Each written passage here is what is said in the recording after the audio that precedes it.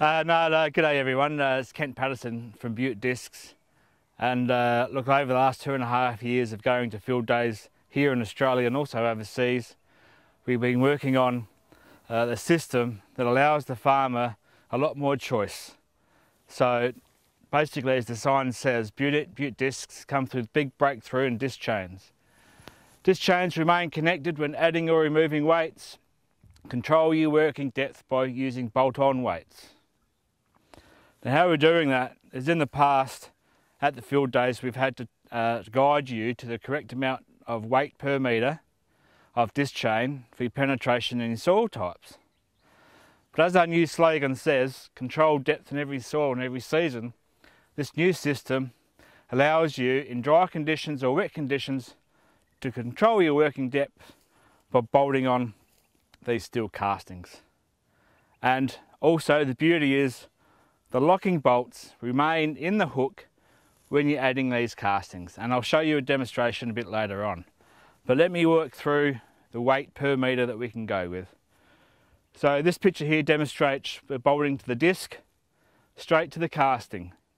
And we're starting out at 68 kilograms per metre.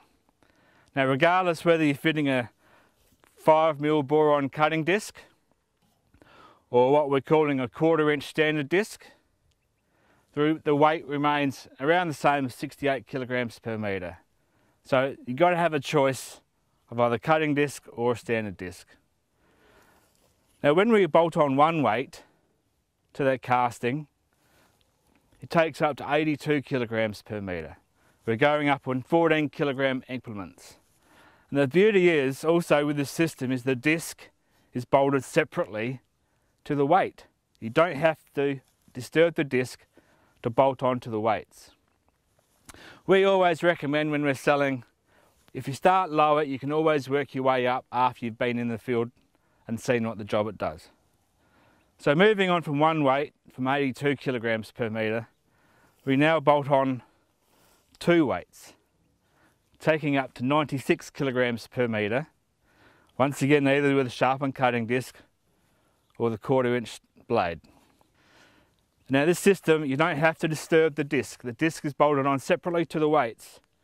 So you just got to undo these four bolts and a normal ratchet or a ring spanner be able to get in there and you slip on the weights. Adding one more weight, the third weight, and three weights is the total maximum we can go to takes up to 110 kilograms per metre. So this here, the whole selection here goes from 110 down to 66. And within that guide range, it will cover every soil and every season. So this series is the Bute Disc 625 series. The 625 relates to six and a quarter inches between each disc. Now we do have a Bute 850 series, which is eight and a half inches between each disc. But this one has 25% more discs per metre. So six and a half discs for every metre. So this disc system is the best for heavy residue, cutting up, cutting out the weeds and working the soils.